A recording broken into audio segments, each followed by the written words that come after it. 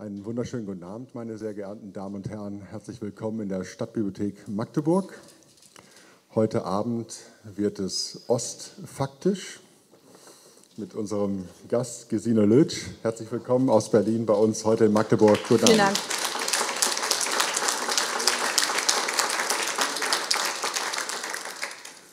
Ostfaktisch und nicht postfaktisch, wie es hier auf dieser schönen Tüte vom Eulenspiegel Verlag heißt, vorgestellt wird heute Abend von der Autorin selbst das Buch Immer schön auf Augenhöhe, was soeben im Eulenspiegel Verlag erschienen ist. Ich sage das deshalb auch, weil wir auch schon äh, sozusagen das erste Buch in dieser Reihe hier vorstellen durften, gemeinsam mit ihrer Kollegin Petra Pau, auf die wir vielleicht gleich noch zu sprechen genau. kommen werden. Genau. Das ist also ein sehr schönes, äh, kompaktes Bändchen, was die Erfahrungen in ihrem langen Politikerleben zusammenfasst und ähm, einen, Blick hinter die Kulissen erlaubt, aber auch den Alltag für Sie als Bundestagsabgeordnete. Gesine Lötsch, das vielleicht als kurze Vorrede, ist seit 2002 äh, Direktkandidatin für den Wahlkreis Berlin-Lichtenberg. Das kann auch nicht jeder von sich sagen. Sie sind Vorsitzende des Haushaltsausschusses, eine sehr wichtige Position, über die wir vielleicht auch noch reden können.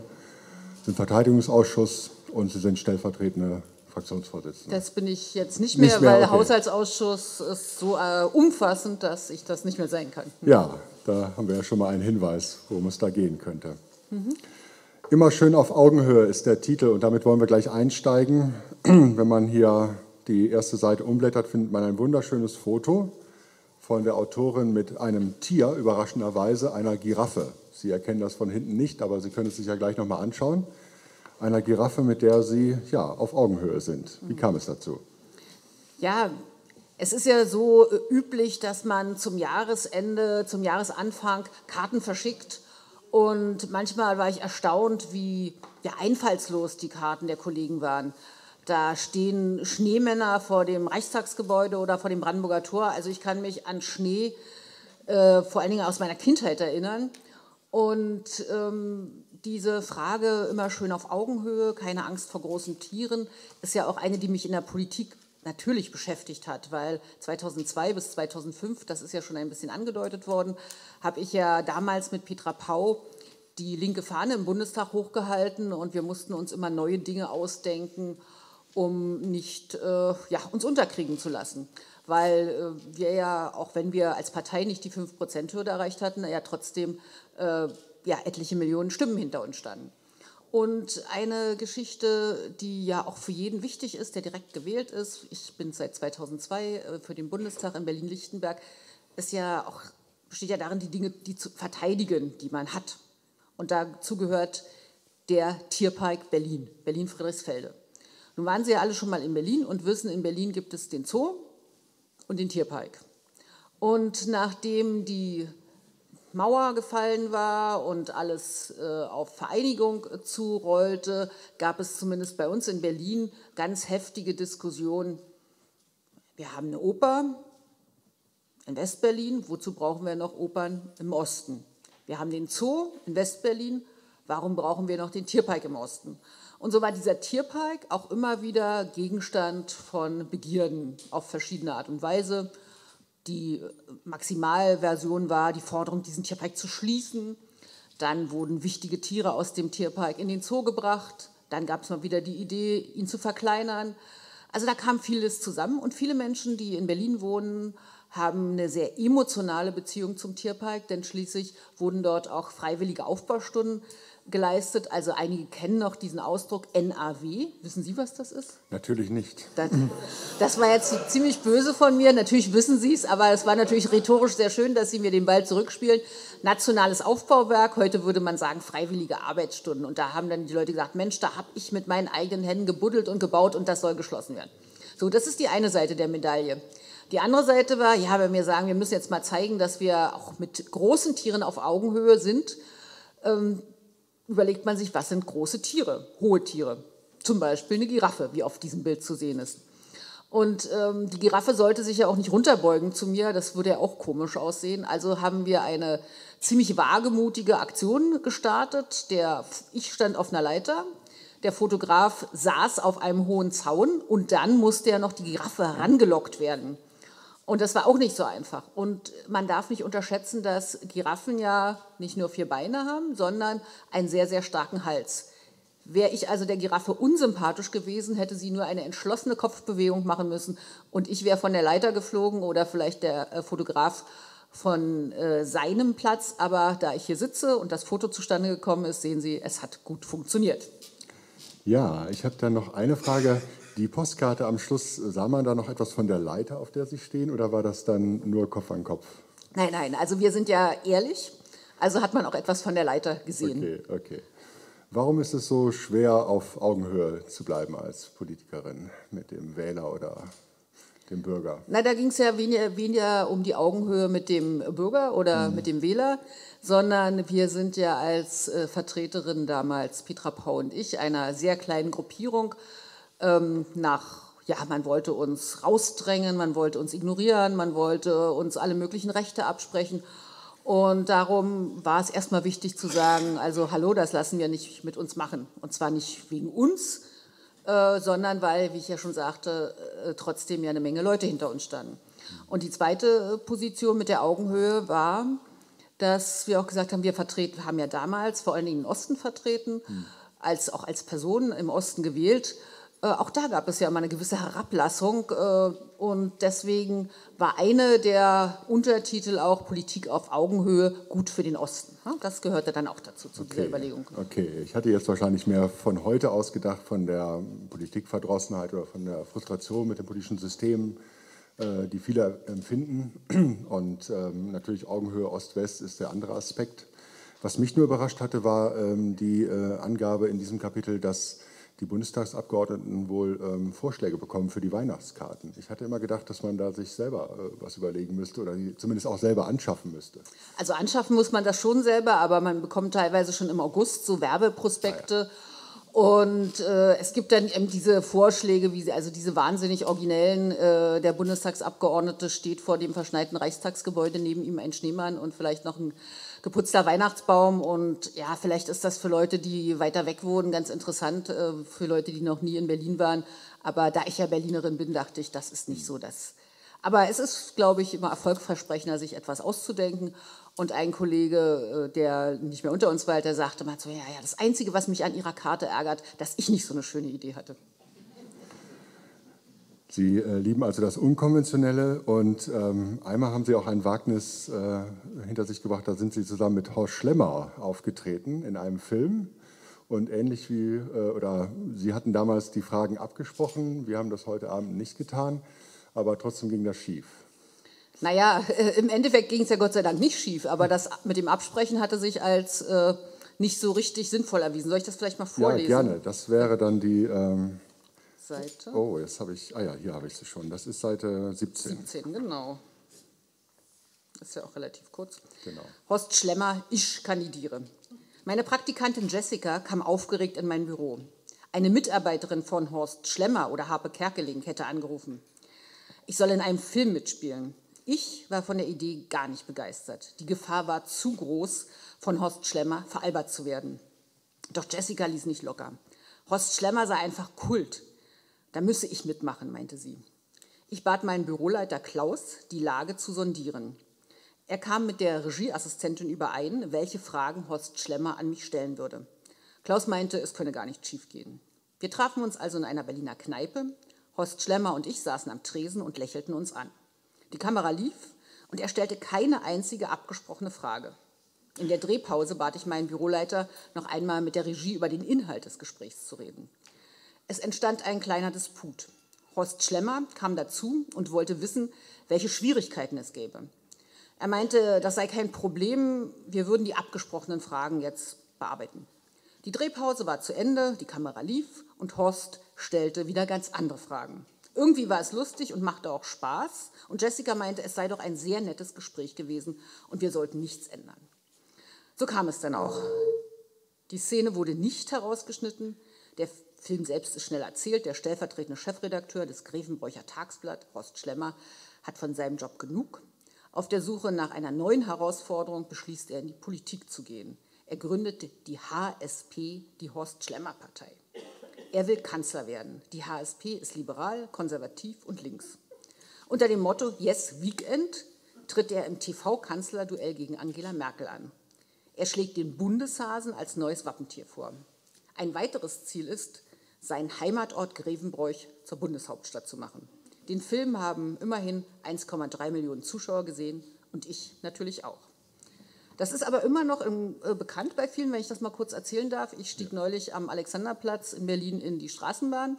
Da stand so ein Ehepaar, in, sag mal, um die 40, mit einer halbwüchsigen Tochter, also in äh, dem schönsten Pubertätsalter. Der Mann guckte mich immer so an, zwinkerte mir immer so zu und sagte, ist es oder ist es nicht?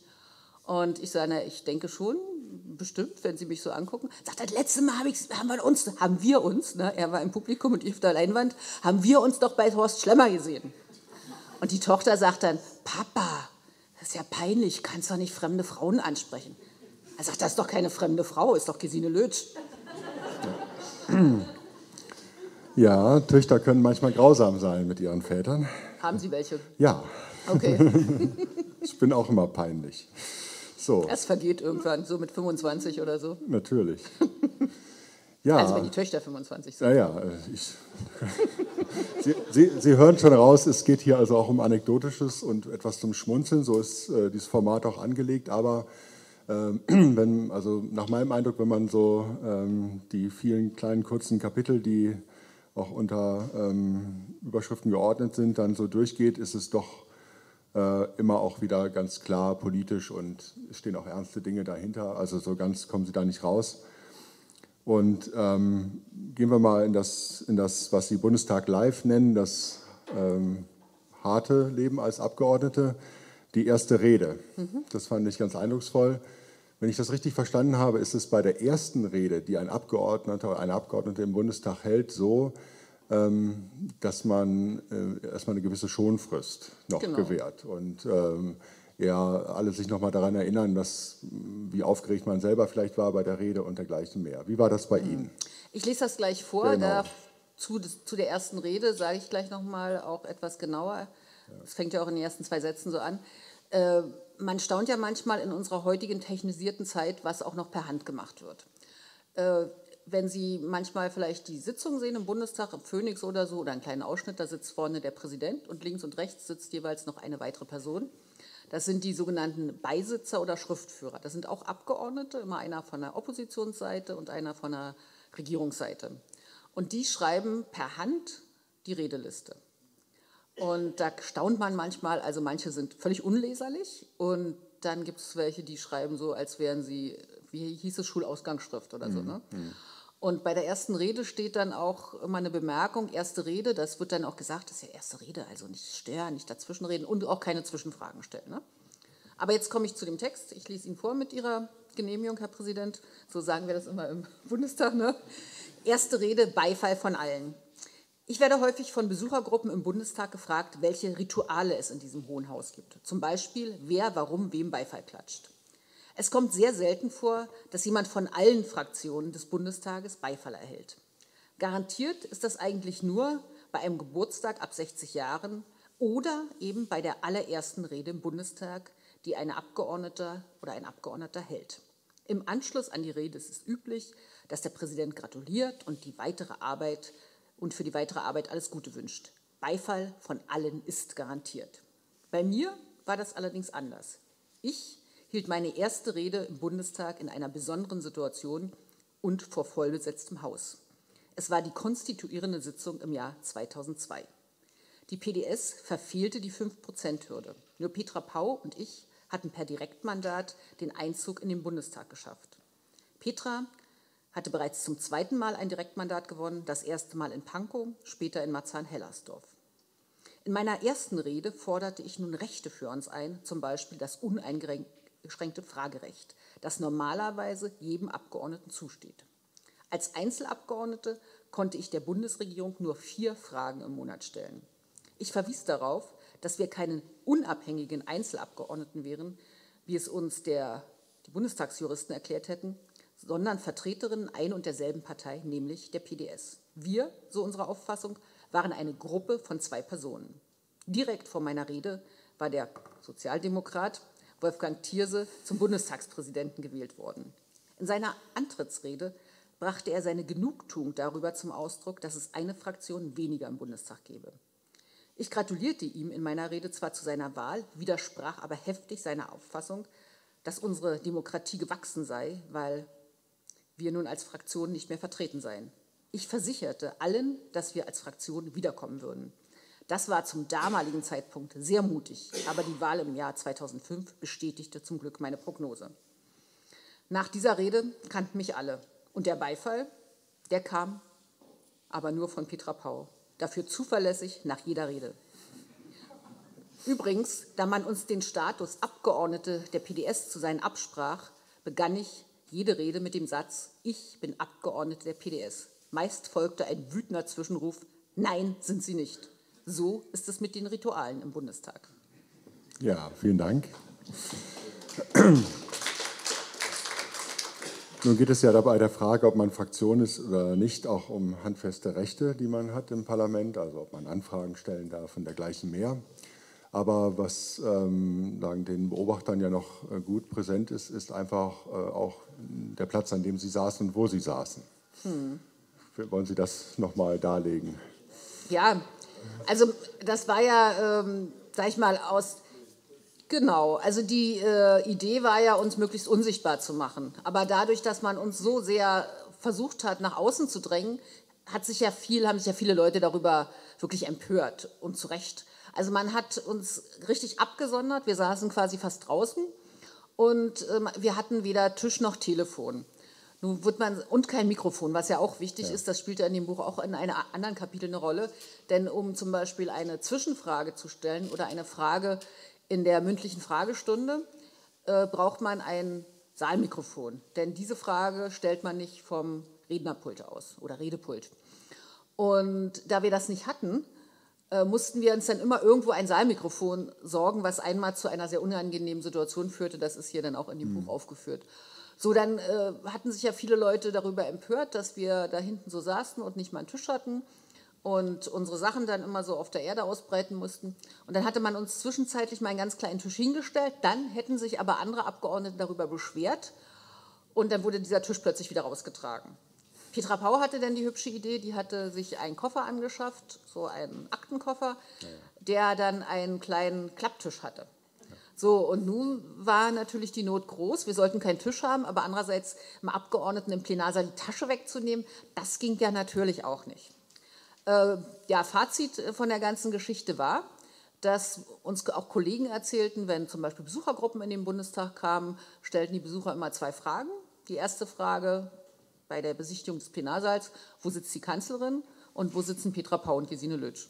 Also ging genau nach hinten los, die Aktion gegen uns. Ja. Ähm, ja, also sagen, ist, war es auch vielleicht äh, ein sowohl Fluch als auch Segen für Sie und Ihre Bekanntheitsgrad? Ja, natürlich äh, war für uns ja wichtig, für Petra und mich, dass wir äh, auch unseren Wählern und unserer Partei, unseren Mitgliedern auch äh, zeigen wollten und mussten, wir lassen uns hier nicht unterkriegen. Wir stehen ja da nicht als Einzelpersonen, mhm. sondern wir sind für ein Programm gewählt für eine Idee und wir wollen hier äh, auf keinen Fall niedergedrückt da sitzen, sondern das Beste eben aus der Situation machen und äh, ich glaube, das ist uns auch damals ganz gut gelungen. Mhm. Gab es im Nachhinein zum Beispiel von äh, Wolfgang Thierse, der sich ja auch als Fürsprecher des Ostens sieht und gesehen hat damals, sowas ähm, wie eine Versöhnung oder eine Entschuldigung? Nein, also im Wolfgang Thierse, da war da natürlich das Verhältnis besonders angespannt, weil er ja mehrmals, obwohl er sozusagen als auch Vertreter der Ost-SPD als ein gewisses Gesicht des Osten galt, mhm. äh, in dem Wahlkreis besiegt wurde von Abgeordneten oder erst Kandidaten und dann Abgeordneten der PDS damals. Zum einen war es Stefan Heim. Mhm. Äh, das war ja auch eine Geschichte, die, da war ich noch nicht im Bundestag, deswegen steht hier in dem Buch auch nichts dazu äh, womit ja keiner gerechnet hatte, dass Stefan Heim erstens für die PDS antritt und dann auch diesen Wahlkreis gewinnt, der ja eigentlich Thierse zustand, in Anführungsstrichen.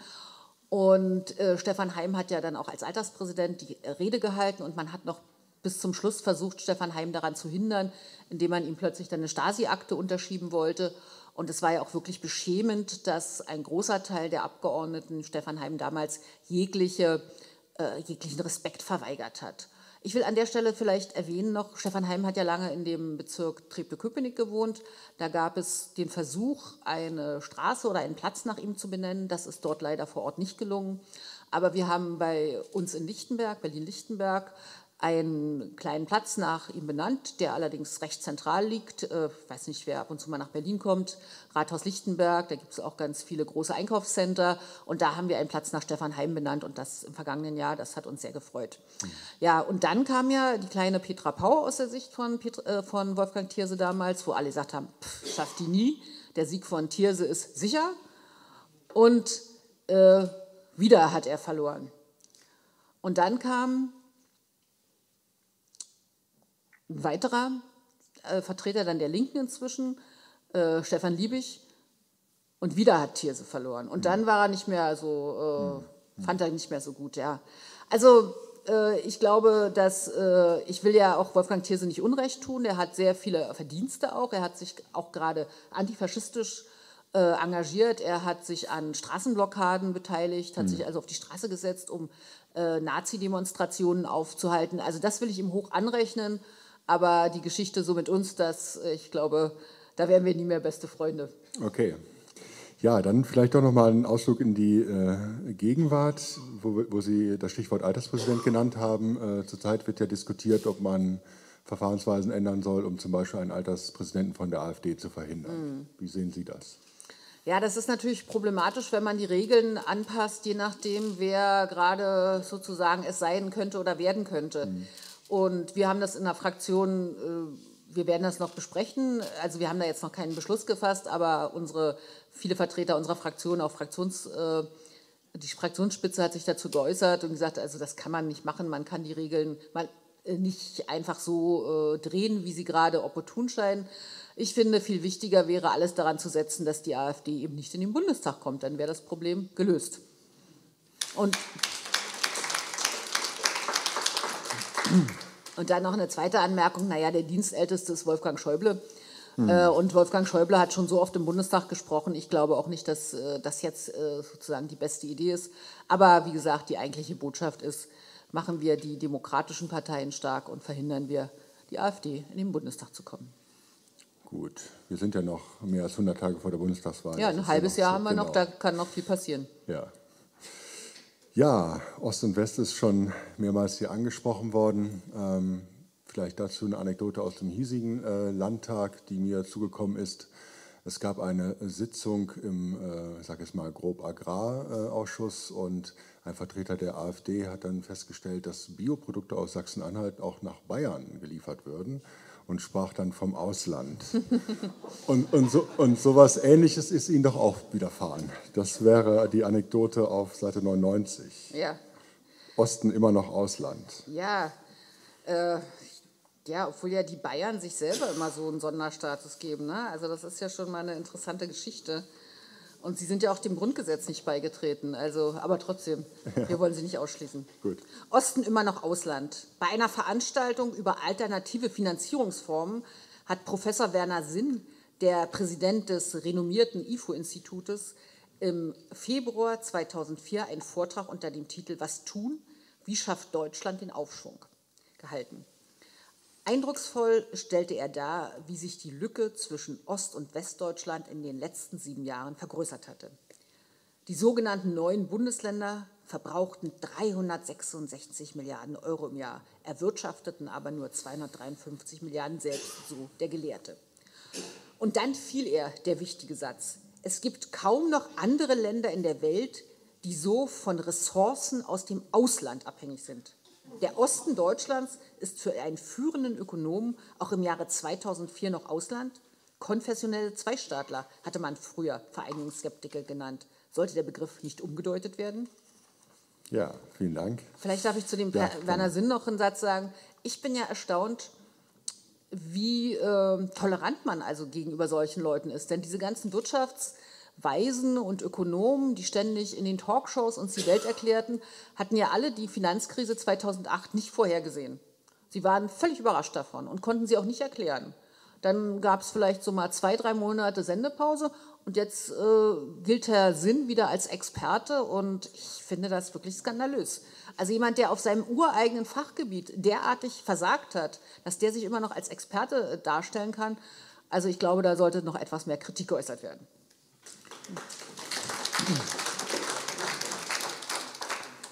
Ja, jetzt nähern wir uns Ihrem Fachgebiet unweigerlich an. Ähm, Haushaltsausschussvorsitzende, hier in einem äh, Anreißer des Verlages steht sogar, Sie leiten den Haushalt, aber das ist nicht ganz so. Mhm. Äh, wie, wie, stellt sich das dar in der, oder was, was äh, ist Ihre Verantwortung dabei? Ja, also wenn ich Besuchergruppen habe, die jetzt noch weit unter der Volljährigkeit sind, also Schulklassen, dann frage ich die immer, naja, was stellt ihr euch eigentlich unter Haushalt vor? Und das ist immer ganz interessant, da sage ich zuerst, die Jungs, die Mädchen sollen schweigen. Weil, das ist nämlich ein guter Test ist, weil manche dann sagen, naja, einkaufen und so, und da sind doch die Frauen zuständig. Und dann sage ich, ja, sehr gut. Jetzt wissen die Mädchen, worauf sie zu achten haben, wenn sie sich mal einen Lebenspartner suchen. Diese Frage, wer wofür zuständig ist, vorher klären. Die Männer hier in der zweiten Reihe gucken schon skeptisch. Die erinnern sich an eigene Geschichten. Nein, der Haushalt ist ja die Haushaltskasse des Bundes und äh, da sind im Augenblick etwas über äh, 328 Milliarden drin. Die habe ich hier, äh, nicht in der Tasche, ja. Ähm, das wäre natürlich etwas leichtfertig.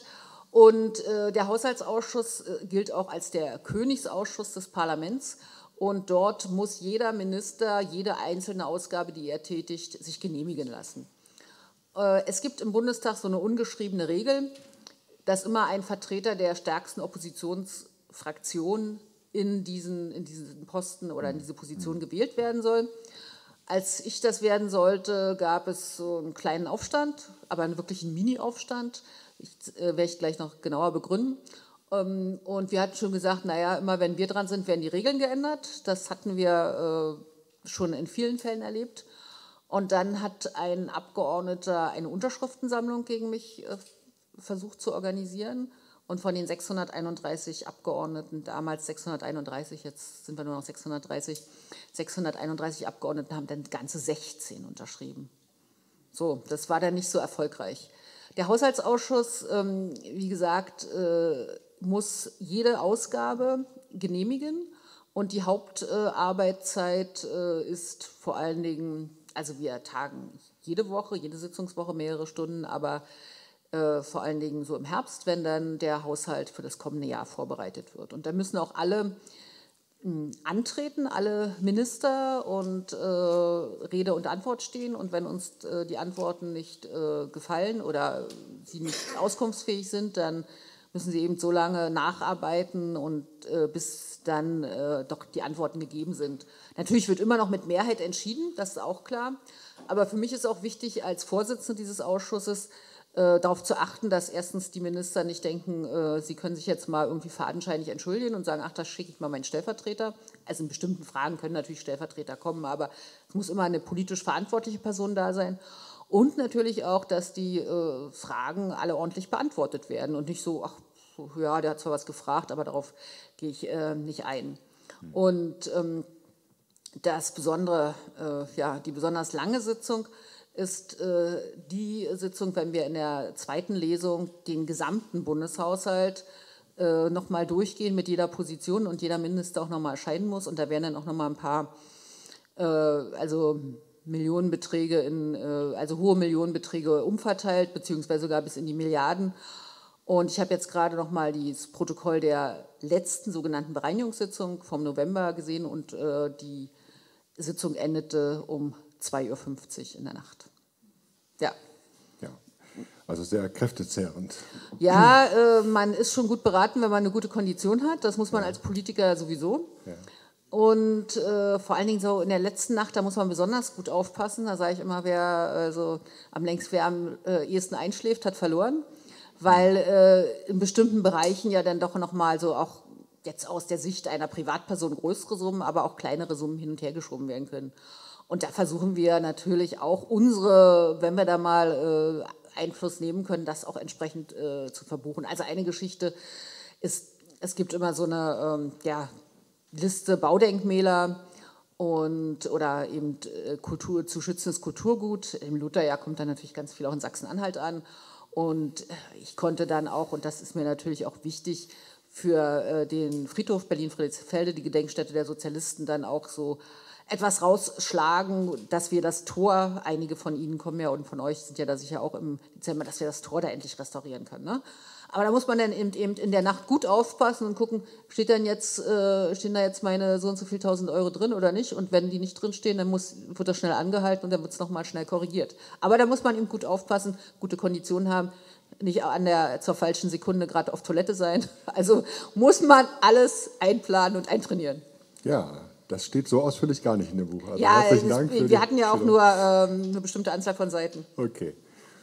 Ein ökonomisches Thema wollte ich noch aufgreifen, ähm, Hartz IV, das Sie in diesem ähm, Buch auch ganz klar nochmal Armut per Gesetz nennen. Das war ja vor der Finanzkrise, mhm. führte auch dazu, dass beispielsweise auch hier in Magdeburg äh, im Montagsdemonstrationen äh, stattfanden in Anknüpfung an diejenigen äh, zur friedlichen Revolution.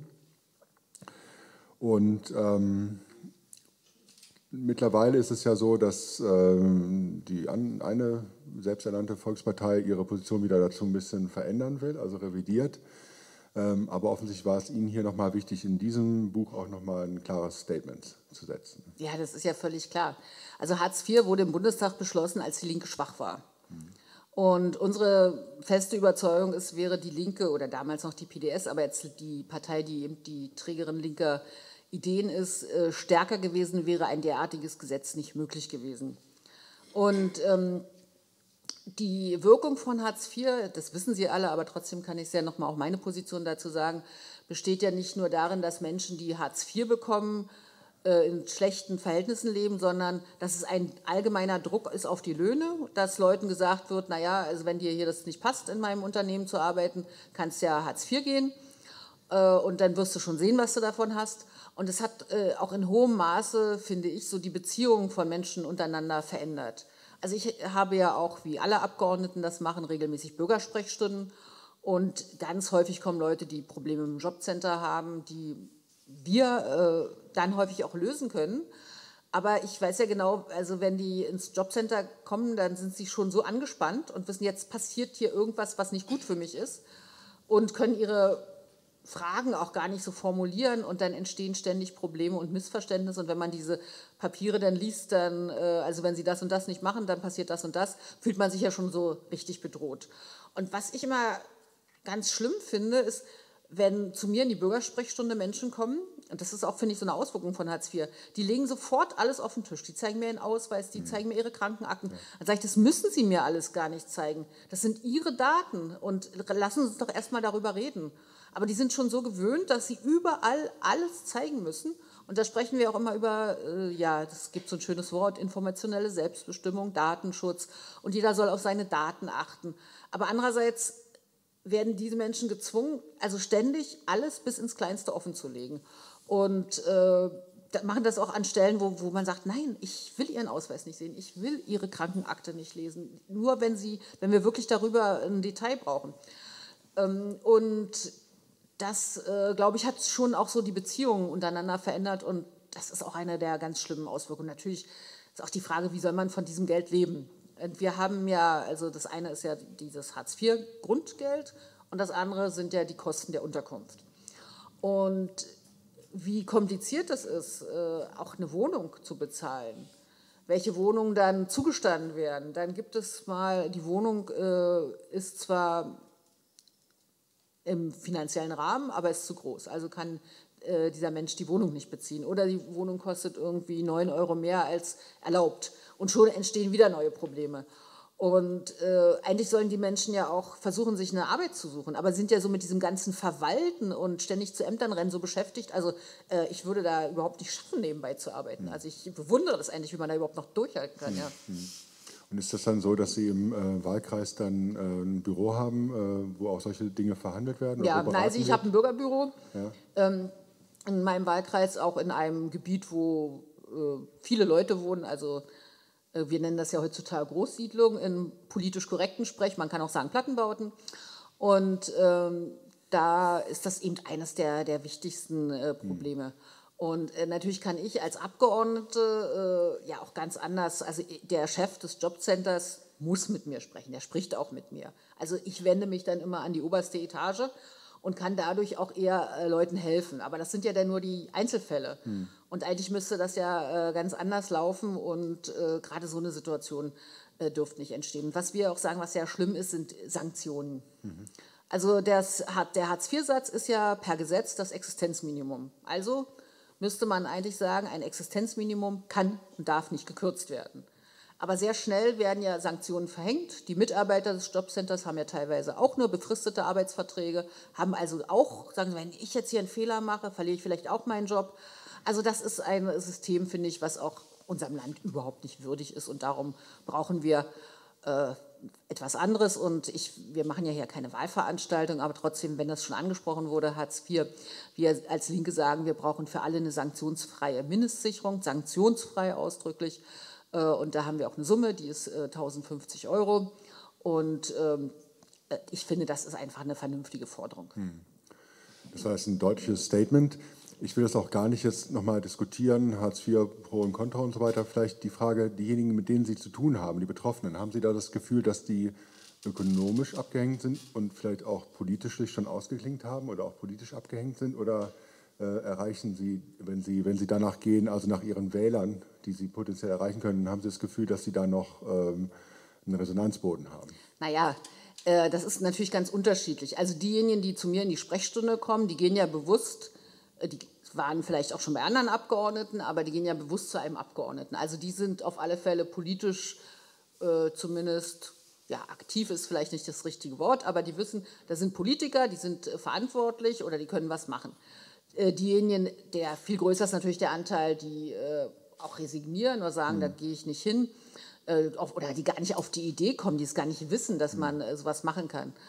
Und äh, von Hartz IV kann man äh, wirklich nicht richtig vernünftig leben. Das ist mhm. völlig klar. Ich kann mich entsinnen, als wir noch ganz zu Anfang, das ist auch in dem Buch beschrieben, eine Episode in diesem Hartz-IV-System war, da hatte ich auch eine Gruppe, die sagt, naja, jetzt haben wir ja noch alles. Aber wenn denn mal unser Kühlschrank kaputt geht oder wir, äh, keine Ahnung, im Winter neue Stiefel brauchen, dann kommen die, erst die richtigen großen Probleme. Denn äh, vor dem Hartz-IV-System gab es ja auch im Sozialhilfebezug die Möglichkeit, eben individuelle Entscheidungen zu treffen. Also wenn jemand jetzt einen Kühlschrank braucht, um mal bei dem äh, äh, Beispiel zu bleiben, oder eben Winterschuhe, dann konnte das eben individuell entschieden werden. Das ist ja jetzt nicht mehr möglich. Hm. Ja, da vielleicht nochmal dran anknüpfend war ähm, die Gesetzgebung und die Debatte darum und die erbitterten ähm, öffentlichen Kundgebungen auch, die es darum gab. Waren das so ein erster Schritt vielleicht äh, dahingehend zu einer Delegitimierung des politischen Systems, so wie wir sie in der Gegenwart haben? War das ja, so ein Schritt nach unten, würden Sie das so? Ja, das ist, ist es ja genau für viele Leute auch gewesen. Also wenn wir uns mal äh, vergegenwärtigen, wie äh, schnell äh, heut, also nach diesem Hartz-IV-System beziehungsweise der Agenda 2010 jemand äh, aus einer relativ guten Berufstätigkeit bei Arbeitslosigkeit äh, dann in, äh, nach einem Jahr Arbeitslosengeld eben auf Hartz IV fällt dann ändert sich ja das ganze Leben. Man muss alles beim Arbeitslosengeld 1, wissen Sie ja alles, erzähle ich Ihnen trotzdem, müssen Sie ja nicht sagen, wie viel Ersparnisse Sie haben oder ob vielleicht Sie für Ihre Enkelkinder oder Kinder eine Lebensversicherung abgeschlossen haben. Aber wenn Sie in dem Hartz-IV-System sind, müssen Sie ja alles, was Sie im guten Glauben für die Zukunft sich zurückgelegt haben, was wir auch immer machen sollen, das wird uns ja jeden Tag gesagt, äh, sorgt selber vor, verlasst euch nicht auf die Rente, ihr müsst doch extra was. Das äh, ist ja dann, wird ja dann alles in Frage gestellt und alles ist weg. Man muss alles sozusagen erstmal aufbrauchen, bevor man mhm. eben diese Unterstützung bekommt. Und das äh, stellt natürlich so ganz viele auch äh, Lebensplanungen und Lebensentwürfe völlig in Frage. Und dann äh, merken ja auch viele Menschen, die eben wenig Geld haben, dass auf sie herabgeblickt mhm. wird. Und wenn wir in der Schule äh, sind und äh, es steht eine Klassenfahrt an und äh, Kinder können nicht mitfahren, äh, obwohl es ja äh, auch Unterstützung gibt, die sind aber teilweise so äh, bürokratisch, also dieses BUT-Beteiligung, also Bildungs- und Teilhabepaket, also wer in der Politik aktiv ist, der kennt ja auch diese fürchterlichen Abkürzungen, also Beteiligungs- und Teilhabepaket. Aber diese Antragstellungen sind auch so anspruchsvoll und dass viele Eltern dann auch sagen, ach, das, das mache ich nicht und dann, äh, das will ich nicht und ich habe keine Lust, dann ständig in die Schule zu gehen und mir dort äh, da so eine Anträge abzugeben. Nun kann man sagen, da muss man drüber stehen, tu alles für dein Kind, machen manche vielleicht auch. Aber ja, das, äh, da gibt es dann eben auch ganz viel äh, Kinder, die ausgeschlossen sind. Und, ich, mhm. und wir wissen ja, dass gerade in unserem Land, wir kennen das ja aus auch Untersuchungen und Vergleichen mit anderen Ländern, über den Entwicklungsweg das Elternhaus, also die soziale Stellung des Elternhauses, eine enorme Entscheidung hat. Und das war in früheren Generationen oder eine Zeit lang mal anders. So kurz nach dem Krieg gab es ja einen großen Aufbruch. Also viele die, was weiß ich, in den 30er, 40er Jahren geboren sind, die haben ja selber auch diesen Bildungsaufstieg mitgemacht. Die waren plötzlich die Ersten in der Familie, die Abitur machen konnten, also Arbeiterkinder, die dann Professoren äh, wurden. Und äh, das ist ja etwas, was immer mehr zurückgeht. Und das finde ich auch sehr, ähm, ja, eigentlich auch, wenn man es mal rein ökonomisch sich nur anschaut, also auch eine völlige Verschwendung von ähm, Talenten. Und darum habe ich ja auch hier in dem Buch erst was geschrieben über den Sputnik-Schock. Mhm. Äh, ja, gerne. Ja. Jetzt das muss ich nur mal gucken, auf welcher Seite der steht. Was ja. geschah am 4. Oktober 1957? Genau. Das, ist das ist auf Seite 32. Sie sind jetzt schneller, ja. Da war ich jetzt schneller, genau. Seite 32 haben wir hier. Genau. Was jetzt habe ich schon fast verraten, ja, die Antwort auf die Frage. Was geschah am 4. Oktober 1957? Als Parteivorsitzende war ich häufig auf Einladung unseres Studierendenverbandes SDS zu Gast an Hochschulen und Universitäten. In meinen Vorträgen fehlte nie dieser Satz. Ihr erinnert euch doch alle noch an den 4. Oktober 1957. Häufig kam erstmal die Reaktion, so alt sind wir doch nicht. Ich sagte dann, ich auch nicht. Thorsten, mein Fahrer und treuer Unterstützer, grinste. Er als Raumfahrtenthusiast wusste natürlich Bescheid. Am 4. Oktober 1957 gelang es der Sowjetunion, den ersten künstlichen Satelliten, den Sputnik, ins Weltall zu schicken.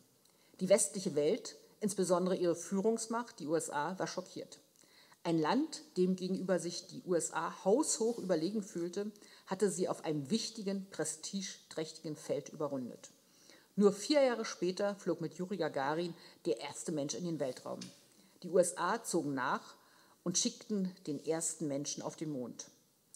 Immer wieder tauchen Theorien auf, dass diese Mondlandung ein großer Bluff war, aber geschenkt. Heute ist der Sinn der bemannten Raumfahrt eher umstritten. Die Kosten sind hoch und die Gefahren für die Menschen groß. Bemerkenswert und als heutige Lehre immer wieder hervorzuheben ist, was der Sputnik-Schock in den USA auslöste. Das Bildungssystem wurde umfassend reformiert. Man erkannte, dass man nicht erfolgreich sein würde, wenn die Elite sich immer nur aus sich selbst wieder rekrutierte und die Mehrheit des Volkes von umfassender Bildung ausgeschlossen bliebe. US-Präsident Eisenhower sorgte dafür, dass mehr Mittel in die Bildung flossen und ein breites Stipendienprogramm für Menschen aufgelegt wurde, die man heute mit dem fürchterlich, finde ich zumindest, überheblichen Wort bildungsfern beschreiben würde. Wie wichtig und sinnvoll die Förderung jedes Kindes und Jugendlichen, ja jedes Menschen ist, beweist meine eigene Familiengeschichte. Mein Großvater war geprüfter Hilfsschlosser. Meine Großmutter nähte in Heimarbeit Handschuhe. Ihre drei Kinder absolvierten alle ein Fachschulstudium bzw. ein Hochschulstudium. Und meine Eltern gaben ihren Bildungsdrang an ihre Kinder weiter und förderten mich und meinen Bruder. Heute sind solche Familiengeschichten nicht mehr typisch. Viele Menschen machen die Erfahrung, dass ihre gute Ausbildung kein Garant mehr dafür ist, dass man auch Erfolg hat. Erfolg hat mit anderen Dingen zu tun. Nicht damit, was man kann, sondern damit, woher man kommt und wie man vernetzt ist. Die Lehren aus dem Sputnik-Schock sind nicht nur in den USA verdrängt worden, leider. Aber ich erinnere bei jeder Gelegenheit an sie, seines Reden im Bundestag zur Raumfahrt, zur Bildungspolitik oder Diskussionen zu Innovation und Raumfahrt. Im Februar 2015 nahm ich an einem Kolloquium der Alexander von Humboldt Stiftung in Brasilien teil. Es ging um Forschungsexzellenz in einer globalisierten Welt. Ich berichtete über das System der Forschungsfinanzierung in Deutschland, hob dessen Vorzüge hervor, verschwieg aber auch Kritikwürdiges nicht. Studiengebühren, so eine meiner Aussagen, negieren die Lehren des Sputnik-Schocks und verschwenden Talente. Ja. Vielen Dank. Das ist vielleicht auch eine gute Überleitung zu dem äh, nächsten Blog, was für uns oder als Bibliothek noch besonders interessant war in Ihrem Buch, Sie sind, haben mir eben verraten, Ihr, erste, äh, Ihr erster Ferienjob in der DDR, so ist die richtige Bezeichnung, äh, war in einer Bibliothek. Ja. Sie haben also eine besondere Beziehung zu, unseren, zu unserer Institution. Und wir haben natürlich auch den Anspruch, durch die Vermittlung von Lesen, von Lesekompetenz, von Kultur ähm, zur Bildungsentwicklung entscheidend beitragen zu können. Und dahinter steckt natürlich auch, wie ich würde sagen, das bürgerliche Versprechen von Aufstieg, von Wohlstand, äh, wo Sie gerade dargelegt haben, dass es vielleicht sich nicht mehr äh, so äh, an den bestehenden Verhältnissen realisieren lässt. Aber zurück zur Bibliothek. Sie waren also ähm, ja, als 14-Jährige zum ersten Mal in der Bibliothek. Welche war denn das? Naja, da war ich nicht zum ersten Mal in der Bibliothek, Ja, sondern das war mein, mein Ferienjob, ja, mein genau. bezahlter Ferienjob. Also ab 14 durfte man ja dann äh, für Geld arbeiten. Äh, vielleicht noch ein ähm, Satz davor, meine Einschulung, also insofern stand das unter einem guten Stern, meine Einschulungsfeier fand auch in einer Bibliothek statt. Und äh, mein erster Ferienjob war äh, in der Tat in einer Bibliothek, und zwar in einer wissenschaftlichen Bibliothek, und zwar im Zentralinstitut für Arbeitsmedizin. Äh, da werden Sie sich natürlich denken können, da arbeiteten meine Eltern und die hatten mir das auch vermittelt. Und dieser Ferienjob war außergewöhnlich erfolgreich, weil meine Eltern waren beide bibliothekarisch tätig dort in dieser Institution und sie galten als sehr streng und genau.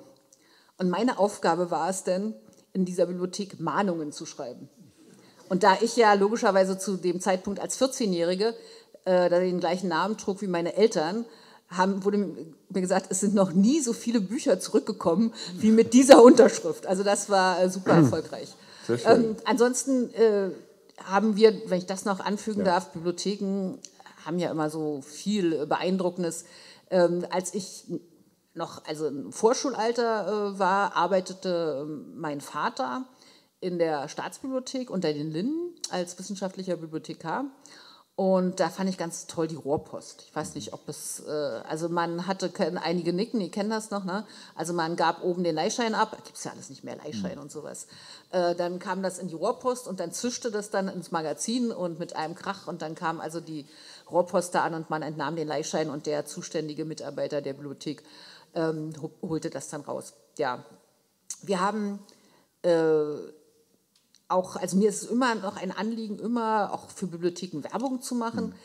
Ich habe die schöne Aufgabe, in jedem Jahr äh, in Schulen so die äh, Schulkinder zu begrüßen und das verbinde ich dann natürlich auch mal mit dem Werben fürs Lesen. Ich will Ihnen jetzt aber nicht meine Einschulungsrede vortragen, denn Sie haben ja die Schulzeit schon hinter sich. Aber das Zuckertütenfest vielleicht. Ja, genau. Und das verbinden wir dann auch mit so einem Zuckertütenfest und werben eben dafür, dass die Kinder so schnell wie möglich sich eben auch zu ihrer Bibliothek begeben und dort auch einen Bibliotheksausweis bekommen und regelmäßig in die Bibliothek gehen können. Und wir haben äh, in meinem Wahlkreis sehr schöne Bibliotheken, wo eben auch eine hohe, wie das ja hier auch so mein erster Eindruck ist, eine hohe Aufenthaltsqualität ist, man sich dann auch hinsetzen kann in Leseecken und äh, das finde ich unheimlich wichtig. Letzter Satz.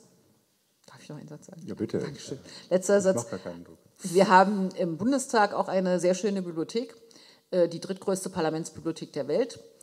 Ähm, Das Schöne daran, an dieser Bibliothek, ist vor allen Dingen für meine studentischen Mitarbeiterinnen und Mitarbeiter, dass sie sich dann immer auf meinen Namen Bücher ausleihen können, die sie sonst, auf die sie sonst in der Universitätsbibliothek lange warten müssten. Und ich bete dann immer zu Gott, dass sie diese Bücher auch rechtzeitig und pünktlich zurückgeben. Bisher hat der liebe Gott mein Gebet erhört. Sehr schön. Ja, Bibliotheksanekdoten könnten wir natürlich jetzt viele austauschen, aber ähm, Sie haben ja schon mal angesprochen, die Aufenthaltsqualität. Heute ist sie ein bisschen eingeschränkt. Wir haben hier heute einen Bücherflohmarkt veranstaltet. Also normalerweise ist hier nicht so gedrängt, aber genau diese Idee, dass man sich hier aufhält und noch mehr tut, als reinzukommen und ein Buch auszuleihen, wieder rauszugehen, das ist genau auch unser Ansatz. Und wir haben auch ähm, mit fast allen Kindereinrichtungen und Grundschulen Kooperationsvereinbarungen, haben sehr viele Veranstaltungen zur Leseförderung. Werden in diesem Jahr auch ein ABC-Fest machen oder einen Samstag. Aber Sie haben mir jetzt auch noch eine Vorlage gegeben für den Leihschein. Ich habe noch was mitgebracht, was ich Ihnen unbedingt zeigen wollte. Es gibt nämlich, und die regelmäßigen Leser bei uns wissen das, es gibt noch einen Ort hier in der Bibliothek, wo man doch noch einen Leihschein benötigt. Wer weiß denn das? Da, ist, da meldet sich jemand hinten, Da meldet sich jemand? oder? Ja. Ja? Genau, unsere, unsere historische Abteilung. Und da möchte ich doch jetzt noch mal ein bisschen Werbung machen. Wir haben hier äh, einmal durchs Haus jetzt in den nächsten drei Monaten eine wunderschöne Ausstellung unter dem Titel Unseres Herrgotts Kanzlei, ein Ehrennamen für Magdeburg in der frühen Reformation. Und genau in unserer historischen Abteilung, wo wir den historischen Bestand verwalten, der zurückgeht eben bis zur Reformation über fünf Jahrhunderte, dort gibt es noch die original zu DDR-Zeiten gedruckten Leihscheine auf dem Abrissblock und ähm, die Signaturen, unter denen wir die Bücher verwalten, sind auch noch die aus den äh, früheren Zeiten. Nicht alle aus der DDR, auch noch davor zum Kaiserreich. Und ähm, ich hatte so ein bisschen gehofft, vielleicht würden Sie auf unsere Frühdrucke aufmerksam werden, wenn Sie hier reinkommen und habe Ihnen dann ein, äh, die älteste Ausgabe des Kommunistischen Manifests von Karl Marx mal mitgebracht, damit Sie sehen, dass Super. wir auch sowas hier haben. Ja als Sehr kleines ja. Willkommensgruß. Äh, 19, ja, natürlich. 1906. Ja, ja, ja, super.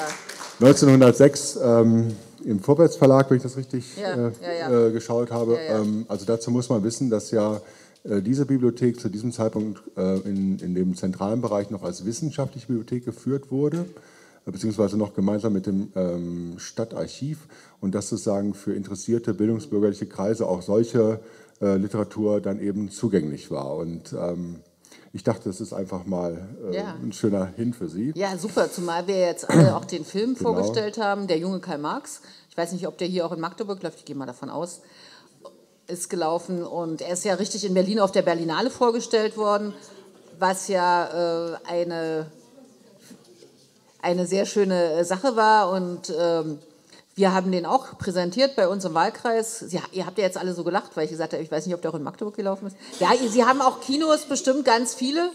Ganz viele, ich weiß nicht, wie viele Kinos Sie haben, aber ein paar Kinos haben Sie sicher auch. Jedenfalls haben wir diesen Film äh, auch an verschiedenen Berliner Kinos äh, gezeigt und äh, präsentiert und waren auch erstaunt, wie viele Leute da gekommen sind und haben uns da wirklich äh, drüber gefreut. Und äh, dass jetzt auch wieder Leute sagen, jetzt müsste ich doch mal das kommunistische Manifest äh, nochmal ja. anschauen und ähm, ja, wurde auch gezeigt, unter welchem Druck das dann geschrieben wurde und in welch kurzer Zeit und was natürlich, glaube ich, für heutige auch interessant ist, äh, für mich auch nochmal so eindrucksvoll, dass sie sich natürlich auch erstmal durchsetzen mussten mit ihren Lehren. Ne?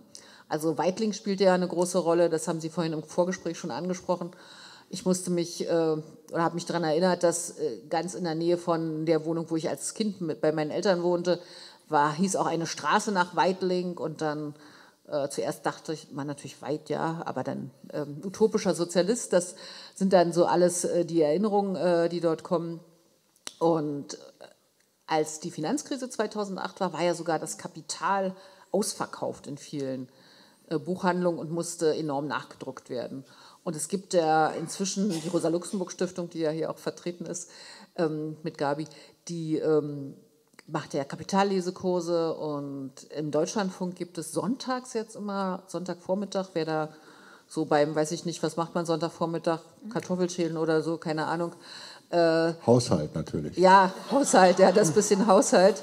Äh, da ist jetzt auch eine interessante Serie auch über Karl Marx und das Kapital und äh, einfach das lohnt sich ja. wieder, das sich anzugucken. Und äh, irgendwann gab es mal so einen Spruch von wem auch immer, äh, Marx ist out. Äh, ich glaube, das ist widerlegt von der Geschichte. Ja, so ähnlich war mein Gedanke auch. Also ich hatte auch Lust, den Text dann nochmal wieder zu entdecken. Ähm, und Wilhelm Weidling war natürlich auch ähm, für uns äh, in Magdeburg insofern interessant, als dass die Bibliothek auch den Namen Wilhelm Weidling trug, bis 1990, glaube ich. Und sie haben eben an den Reaktionen gemerkt, wir sind natürlich froh, wenn wir in der Provinz auch mal richtige Filme hier zu sehen bekommen.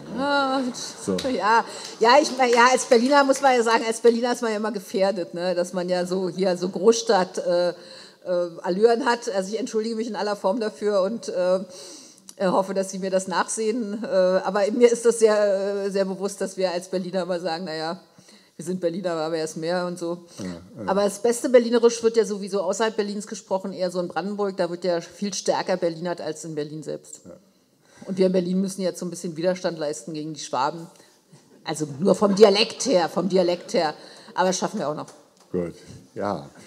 Am meisten beeindrucken mich Filmteams aus Berlin, wenn sie uns mal beehren von RTL oder so, wenn sie mal hier was haben. Also sehr cool, die Redakteurinnen und Redakteure. Äh, wenn man begrüßt wird, hat man schon mal Glück gehabt. Gut, ich möchte noch einen Punkt, bevor wir mit dem Publikum noch, sprechen, doch noch mal zum Lesen.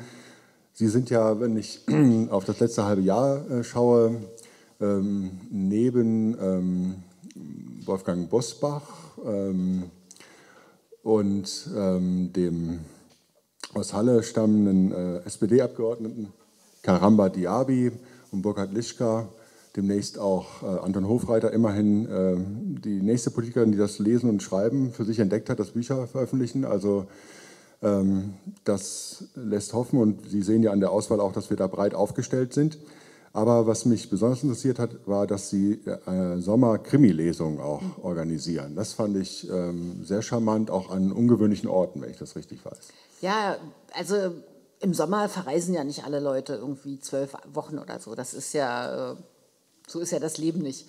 Und wir versuchen ja mit verschiedenen, oder ich versuche jetzt ganz speziell in meinem Wahlkreis mit den verschiedensten Veranstaltungsformaten auch immer wieder andere Menschen anzusprechen und äh, Interessen aufzunehmen. Und ähm, wir haben bei uns im, also in meinem Wahlkreis in Berlin-Lichtenberg äh, einen sehr schönen See, den Obersee und den Orankesee. Und an im Obersee befindet sich ein Wasserturm, und äh, an diesem Wasserturm gibt es noch so eine kleine Terrasse und es ist alles so ein bisschen, ach, so ein Park und ein Wald und manchmal ist es so ein bisschen diesig. Und da, das passt einfach zu Krimis. Da kann man sich dann auch vorstellen, ja, ja. also da hinten hinter dem Baum könnte jetzt der Mörder stehen oder so. Und ich äh, habe auch aus meinem engeren Umfeld, also auch die Leute, die dort wohnen, kenne ich Krimi-Autorinnen, zum Beispiel ein schreibendes Damenkollektiv, drei Damen, die dann auch äh, in einem, einer sehr schönen Krimi-Episode berichtet haben, mh, hm, ja, wozu auch große Tiefkühltruhen äh, im Keller gut sind, nämlich die weiter die, äh, die Rente zu beziehen äh, des denn dort äh, liegenden Ehemannes. Aber das waren äh, sehr hübsche Geschichten.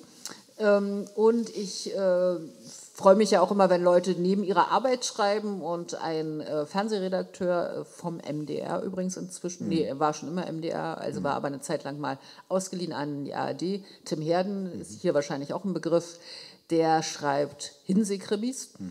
Und das passt ja dann natürlich auch in die äh, Wassergegend und äh, da haben wir auch ganz schöne ähm, Erlebnisse gehabt, zumal er auch in seinen Krimis, äh, ja, so die Geschichte der Treuhand äh, spielt da eine Rolle und so Eigentumsübertragung, Ost-West-Konflikte, ne?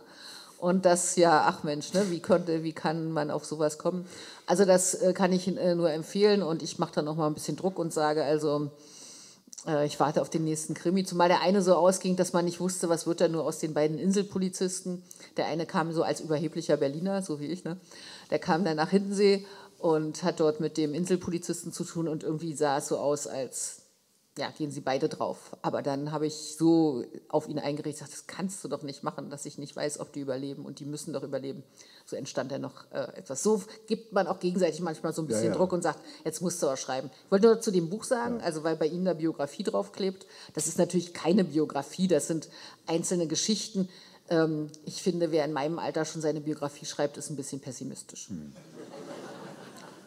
Ich wollte den Kollegen nicht reinreden bei der Klassifizierung. Ja, sorry, aber. Ja, ja. Ich hatte auch ein bisschen gestutzt. So, Sie hatten heute schon einen langen, anstrengenden Tag und haben jetzt eine Stunde lang äh, ein paar Episoden aus Ihrem Buch nochmal erläutert. Ich würde jetzt einen Schnitt machen und einfach nochmal die Runde freigeben, auch für das Publikum. Das ist bei uns guter Brauch. Und die Rosa-Luxemburg-Stiftung, die eingangs jetzt nicht richtig gewürdigt worden ist, die hebe ich jetzt nochmal hervor, die eigentliche Veranstalterin dieser mhm. Veranstaltung. Und Frau Gabriele Henschke macht für uns jetzt, oder? Die, ja. die Außen, den Außenposten, genau. Frau Dr. Pönnecke? Also, genau.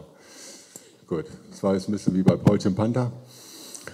Also, Frau Henschke kommt zu Ihnen mit dem Mikrofon und Sie haben jetzt Gelegenheit, direkt mit der Bundestagsabgeordneten Frau Lötsch ins Gespräch zu kommen.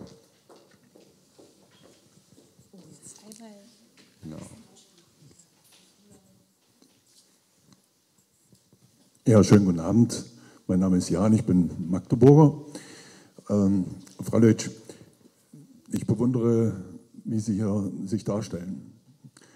Ähm, woher? Äh, ich darf vielleicht bitten, dass Sie mir vier Fragen beantworten. Oh, vier, da vier. vier. Da muss ich, ich bin mal so mutig. Nachdenken. Ich bin mal so mutig. Ähm, Meine erste Frage wäre, woher nehmen Sie die Kraft und den Mut, über 15 Jahre sich mit dem Political Correctness auseinanderzusetzen in Deutschland?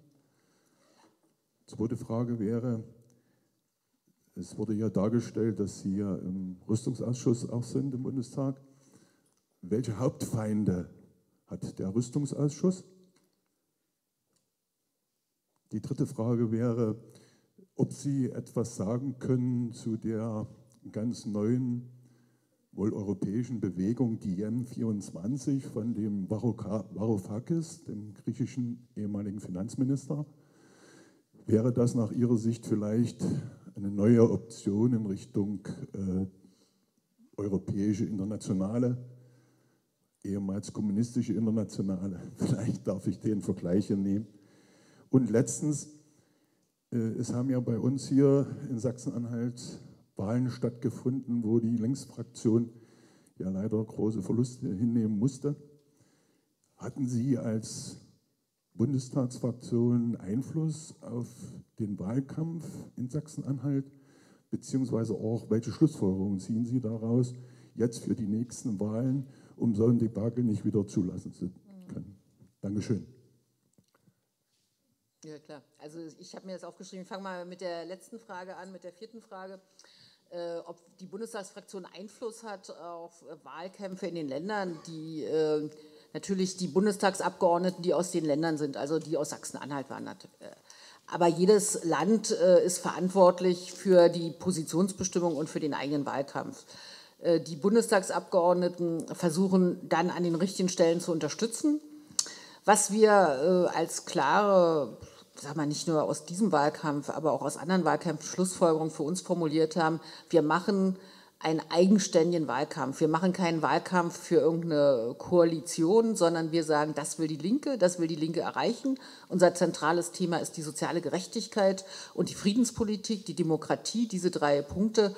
Und darauf konzentrieren wir uns auch. Und wir wollen nicht sagen und werden es auch nicht sagen, unter den und den Umständen könnten wir vielleicht mit dem und dem und der Kompromiss äh, ist hier schon mal formuliert. Jede Partei muss ihre Wählerinnen und Wähler überzeugen und ihre Position ganz klar und unverwechselbar formulieren. Ähm, zur Bewegung DIEM 24. Ich finde es erstmal gut und wichtig, sich international zu verletzen, äh, vernetzen. Nicht verletzen, sondern vernetzen. Ich glaube, dass wir als Linke da nicht gut genug sind.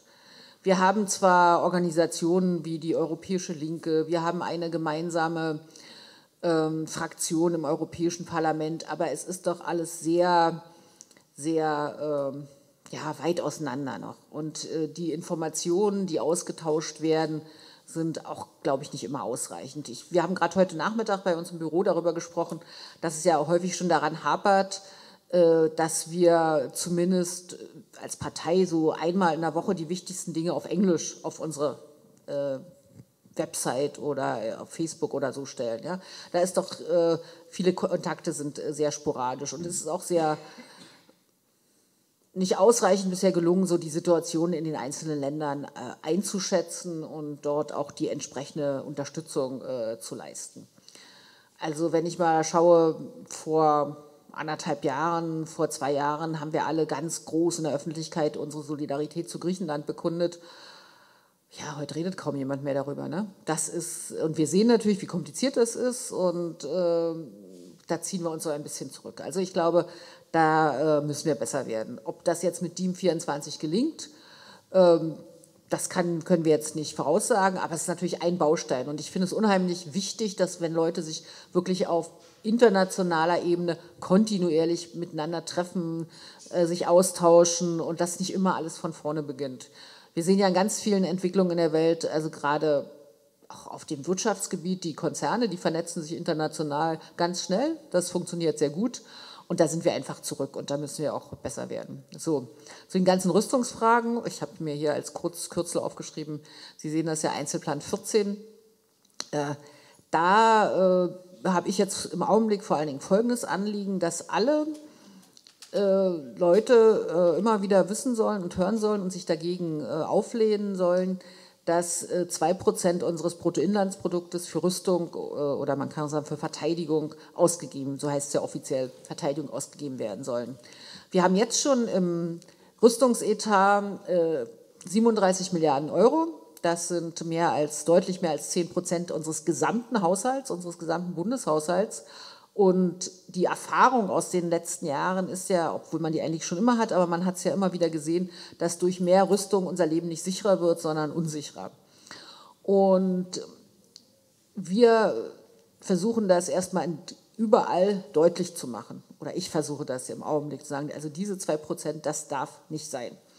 Und was mich so besonders auch negativ beeindruckt hat, nachdem klar war, dass Trump äh, die Wahl gewonnen hat in den USA, war das Erste, was Frau von der Leyen gemacht hat, sich hinzustellen und zu sagen, wir brauchen jetzt mehr Verantwortung. Wir brauchen mehr Geld selber für die Rüstung. Und wie gesagt, die haben schon viel zu viel. Und da werden Dinge produziert, da sind ja manche sagen, ja, ist ja gut, wenn die nicht funktionieren, aber ich will ja auch nicht, dass unser Geld weggeschmissen wird. Das können wir ja gut für soziale Projekte verwenden. Die ähm, Rüstungslobbyisten sind einflussreich, die versuchen sich in allen Bereichen auch breit zu machen. Und wir haben auch sehr viele Arbeitsplätze in der Rüstungsindustrie. Und darum finde ich es auch unsere Aufgabe, als Politiker Alternativen aufzuzeigen. Also wenn es äh, Industriezweige gibt, die man aus den verschiedensten Gründen nicht mehr haben will, muss man den Menschen, die in diesen Industriezweigen arbeiten, auch eine Alternative aufzeigen. Und äh, auch da, glaube ich, müssen wir noch ein bisschen nacharbeiten. So zu der Frage, ja, äh, also mir macht äh, meine Arbeit als Abgeordnete Spaß. Ich äh, natürlich nicht nur, aber ich habe den Eindruck, dass das sinnvoll ist. Ich habe viel Bestärkung und Unterstützung und wir haben ja jetzt gerade auch unsere Listen aufgestellt als ähm, Landesverbände und da habe ich auch aus meinem Landesverband sehr viel Unterstützung erfahren und äh, insbesondere bin ich immer sehr froh, wenn ich Leuten konkret helfen konnte, auch die so völlig, was wir vorhin angesprochen haben, so völlig verzweifelt zu mir in die Sprechstunde gekommen sind und wenn ich da sagen konnte, so jetzt hat er eine Wohnung oder jetzt ist sein Problem gelöst, dann sage ich, ja, das lohnt sich dann doch und dann macht man eben doch weiter. Aber vielen Dank nochmal für die Bestätigung. Danke.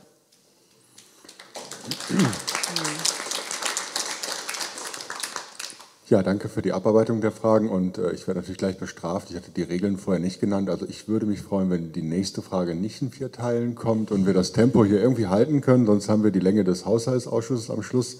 Wir wollen in einer zügigen halben Stunde jetzt durchkommen. Bitte schön, Herr Dr. Sonntag.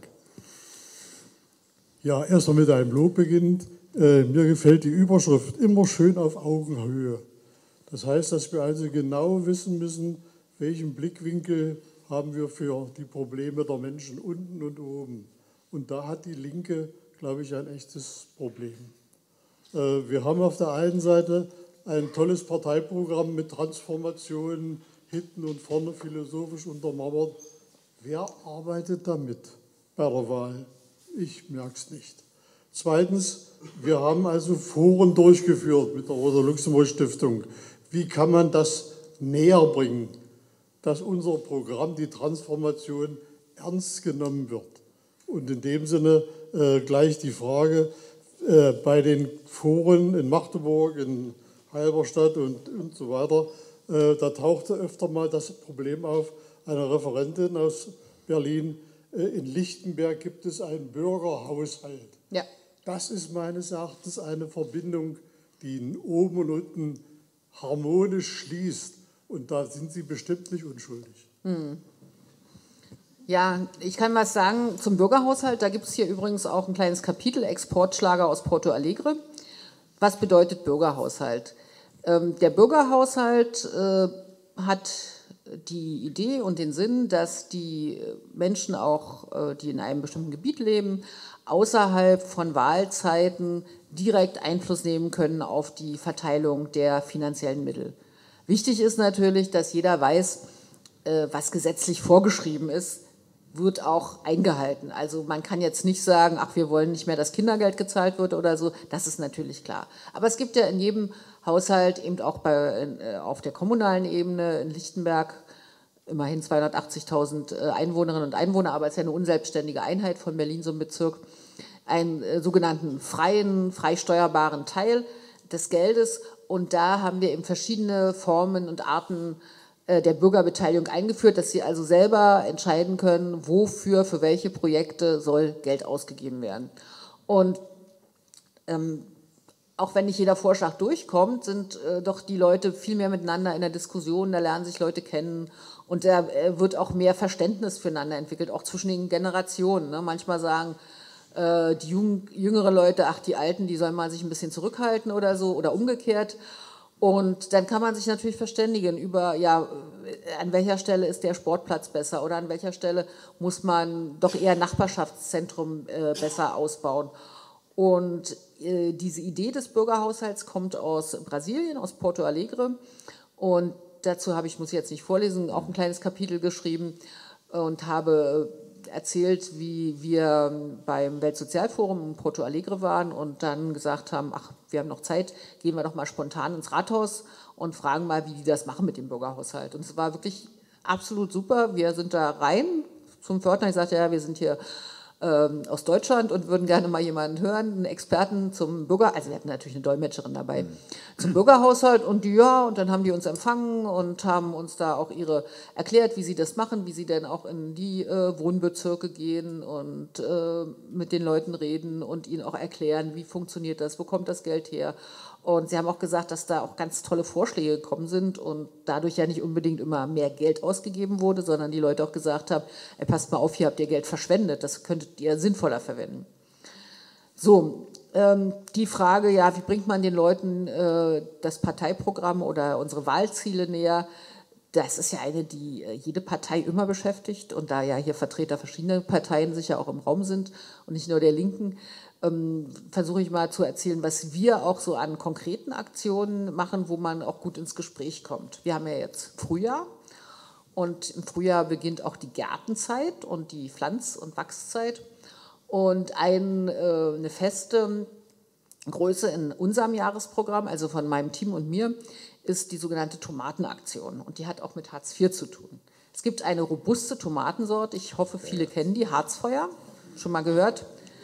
Ähm, und diese Tomatenpflanze verteilen wir so, wenn es halt die, die Pflanzsaison beginnt. Wir werden es in diesem Jahr am 1. Mai hoffentlich beginnen können. Also die Pflänzlein wachsen und gedeihen gerade im äh, Gewächshaus. Und dazu gibt es dann immer eine Gebrauchsanweisung. Ne? Harzfeuer und dann steht, da gibt es Gebrauchsanweisung, Tomaten. Wir wissen doch, wie man, naja, alle wissen es auch nicht. Ne? Kindern muss man auch manchmal erklären, dass äh, die Tomaten, dass man die nicht sofort essen kann, die Tomatenpflanzen, sondern dass die Tomaten ja erst wachsen müssen. Und äh, dazu gibt es dann ein Flugblatt, wo wir, oder ein Informationsblatt, das ist dann die Gebrauchsanweisung, äh, wo wir unsere Position zu Hartz IV aufschreiben und sagen, was man ändern müsste. Aber da hat man einen guten Anknüpfungspunkt. Und wenn wir uns mit unseren äh, Tomatenständen äh, an den verschiedenen Punkten, wo wir das halt machen, aufstellen, da bilden sich Schlangen. Ne? Da sagen die, ach ja, im vergangenen Jahr waren sie doch auch hier und dann zeigen sie mir Bilder, wie die Tomaten gewachsen sind. Aber der Anknüpfungspunkt ist immer dieser Begriff Harz. Harzfeuer, ne? Tomatenpflanze, wird natürlich anders geschrieben, und Hartz IV. Und darüber kommt man dann, äh, also ist unsere Erfahrung, äh, gut ins Gespräch. Ja, gut. vielen Dank. Bitte einmal da vorne. Eine Frage, hat der Haushaltsausschuss die Macht, einen Bundestagsbeschluss außer Kraft zu setzen?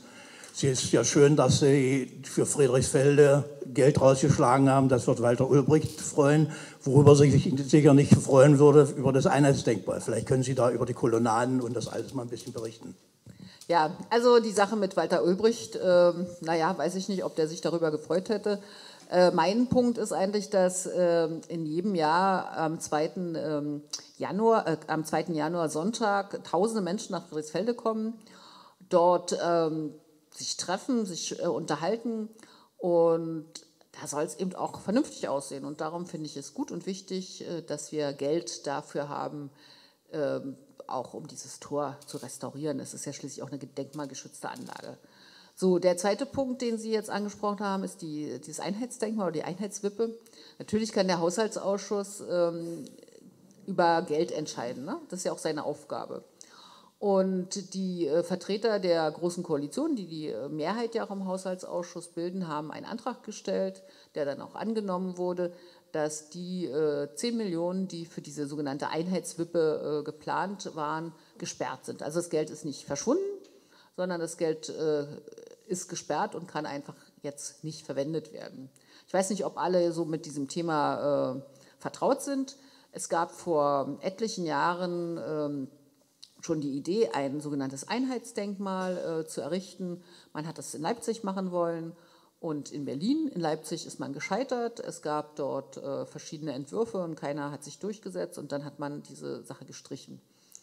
Äh, in Berlin gegenüber vom, direkt am Ufer, gegenüber dann vom dem jetzt wieder äh, entstehenden Schloss, es heißt Humboldt-Forum, äh, gab es dann auch einen Wettbewerb und es gab ein Projekt, eine riesige Wippe. Und diese Wippe soll, wenn Menschen sich darauf bewegen, sich nach einer oder anderen Seite äh, neigen. Ne? Das ist so die Idee. Es haben mehrere äh, Künstler daran gearbeitet. Sie sind dann auch über das Projekt nicht bessere Freunde geworden, sondern es sind auch einige ausgestiegen. Und äh, das ist jetzt also aber nur der äh, Rahmen. Dann hat vor ungefähr einem halben Jahr haben die Vertreter von SPD und CDU den Antrag gestellt im Haushaltsausschuss, weil auch absehbar war, dass hier die Finanzmittel, diese 10 Millionen nicht reichen, das Projekt zu stoppen und das Geld zu sperren. Das ist jetzt erstmal der Sachverhalt. Und ähm, die zweite Frage, die Sie gestellt haben, was ist mit den Kolonnaden? Ja, weil die Kolonnaden ja viel teurer waren ja. werden sollten als das ja. Denkmal selbst. Und das war verbilligt worden, die Kolonnaden. Ja, ja, klar. Auch das war äh, jetzt ein Vorschlag äh, und sagen wir mal, das haben Sie auch gut erkannt von äh, den Vertretern äh, von SPD und CDU in so einer ganzen Liste. Geld äh, für die Kolonnaden direkt also an dieser Stelle zur Verfügung zu stellen. Natürlich schwerer taktischer Fehler, richtig, gut erkannt. Ähm, der Witz an der Geschichte ist, dass Berlin ja sagen müsste, wir wollen das jetzt bauen. Also das Geld für die Kolonnaden liegt im Haushalt und die Stadt Berlin müsste sagen, wir wollen das jetzt haben. Aber äh, in Berlin hat auch die äh, Stadtentwicklungssenatorin, von, die auch von der Linken gestellt wird, gesagt, also sie will diese wilhelminischen Kolonnaden nicht bauen. Also wird dieses Geld äh, nach jetzigem Erkenntnisstand nicht ausgegeben werden. Jetzt äh, gab es, aber ich weiß gar nicht, also das ist vielleicht jetzt ein bisschen, aber ich will es trotzdem die Frage ja beantworten, zu Ende bringen, nochmal eine sogenannte Übereinkunft der beiden Fraktionsvorsitzenden der Großen Koalition, dass man jetzt die Wippe doch bauen will. Aber eine Aussage in der Zeitung ersetzt natürlich keine Freigabe von Geldern in dem entsprechenden Gremium. Das ist jetzt der aktuelle Stand. Gut. Nee, Soweit sind wir nicht. Vielleicht wird es gebaut, vielleicht wird. Es müsste erstmal jemand einen Antrag stellen an den Haushaltsausschuss, das Geld wieder freizugeben. Und den Antrag kenne ich bisher nicht.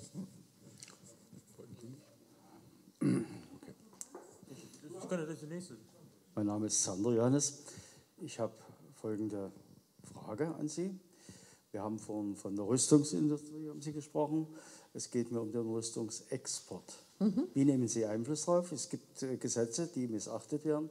Und wir müssen uns immer wieder fragen oder vorstellen, wie viel äh, die Kriege, was die verbrauchen, wenn wir mal nur vom Ökonomischen ausgehen. Und wenn wir mal das durchrechnen, jede dritte Patrone kommt aus Deutschland. So, Schönebeck haben wir ja mal, wird wohl immer produziert, meiner Meinung nach. Äh, wie nimmt man Einfluss, dass diese eingeschränkt wird, dass der Export eingeschränkt wird, dass die Kleinkaliberwaffen eingeschränkt werden, aber eben auch die großen, die Panzer und so weiter. Es bringt natürlich viel Geld und dem Staat auch. Wie nimmt die Linke Einfluss darauf? Gibt es da Diskussionen und gibt es von Ihrer Seite dazu eine Bemerkung? Mhm. Dankeschön.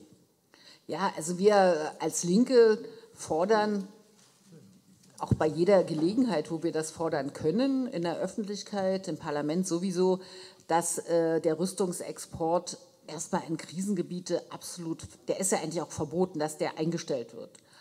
Äh, die meisten Verletzungen, auch das haben Sie angesprochen, die schlimmsten Verletzungen entstehen durch diese sogenannten Kleinwaffen.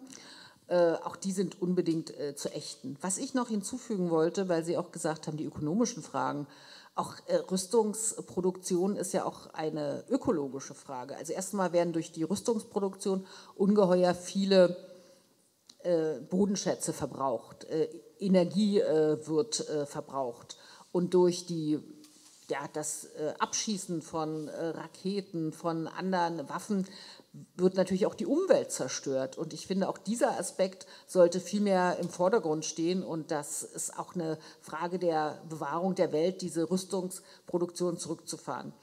Wir stellen als Linke, das gehört ja so zu dem parlamentarischen Handwerk auch dazu, äh, regelmäßig Anfragen äh, und fordern die Bundesregierung auf, uns ähm, Auskünfte zu geben über Rüstungsexport. Es gibt auch einen jährlichen Rüstungsbericht ähm, über die Rüstungsexporte und das führt immer äh, zu heftigen Debatten. Wir haben einen Abgeordneten aus Hamburg, Jan von Aken, der sagt am Ende jeder seiner Reden, egal worüber er redet. Im Übrigen bin ich der Meinung, dass Rüstungsexporte verboten werden müssen.